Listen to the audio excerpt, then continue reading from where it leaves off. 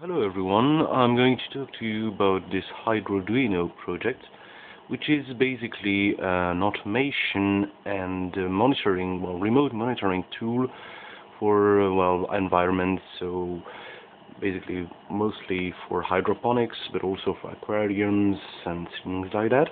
So in the background you can see a bit of the web-based, uh, well, control interface.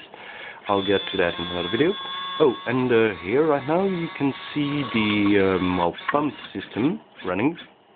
So this is based on a scheduling system and also on uh, well a feedback from the electrodes that you can also see.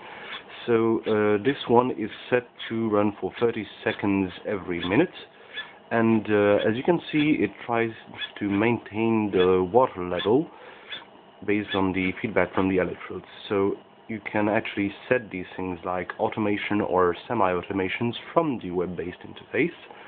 So you can see now it has stopped its 30 second run, so now it lets the water go back. So, um, well, yes, in the next video you'll be able to see, uh, well, the very, not even alpha of the web interface. It's based on Ajax and uh, all the server side and Arduino control because all this is all running with an Arduino is uh, using Python. So the web server as well as all the serial command system is using Python. So of course this project in the end will be open sourced.